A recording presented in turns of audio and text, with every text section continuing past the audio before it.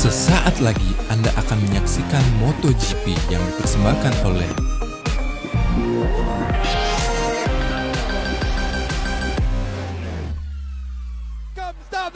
Jorge Lorenzo's to go through, and he's gone through Valentino Rossi. Is he to take the lead? He does. He made it stick this time round. Rossi trying to go around the outside, then on the inside of the right hander. Rossi almost through. Lorenzo slams the door in his face. Oh, and Lorenzo's taking this on, and he's pushing Valentino Rossi to the absolute limit.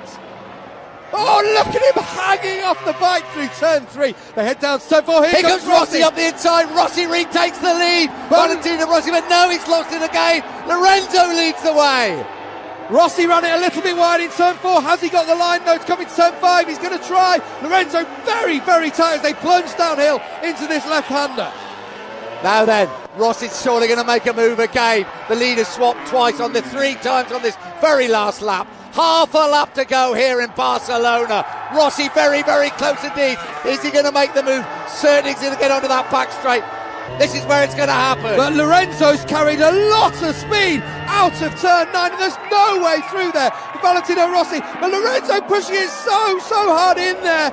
And Lorenzo's going to hang on to it. He said to me before this weekend, if you go into these corners first, you know you're going to win the race. Can Rossi invent something though? Can he do it? Two more corners to go after this one.